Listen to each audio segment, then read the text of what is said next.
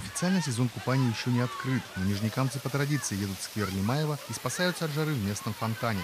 Сквер Лимаева является любимейшим местом горожан во время жары. Те, кто постарше, отдыхают на лавочке в тени. Молодежи предпочитают более активный отдых.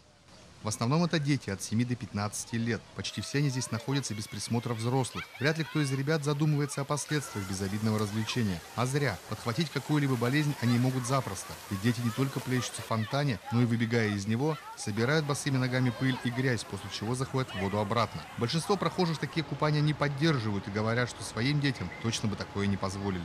Отрицательно то, что там микробы всякие, а с другой стороны, детям деваться некуда. Отрицательно, конечно, тем более еще и несчастные случаи бывали. Как бы никто за этим фонтаном не смотрит, не следит.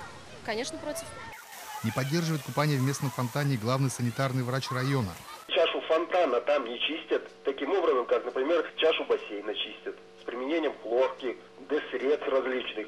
Э, его же только механически чистят фонтан. Поэтому там любая инфекция э, возможна потенциально в фонтане, значит, ребенок, если туда залезет, он может глотнуть этой воды, которая содержит кишечную палочку. Как уверяют медики, вода в городском фонтане, не предназначенная для купания, уже приводила к болезням нижнекамцев. И в лучшем случае это будет кишечная инфекция. Скоро наступят каникулы, и сквер Лимаева станет одним из самых популярных мест среди детей города. Поэтому родителям стоит задуматься, ведь лето может запомниться не только отдыхами и развлечениями, но и больничной койкой.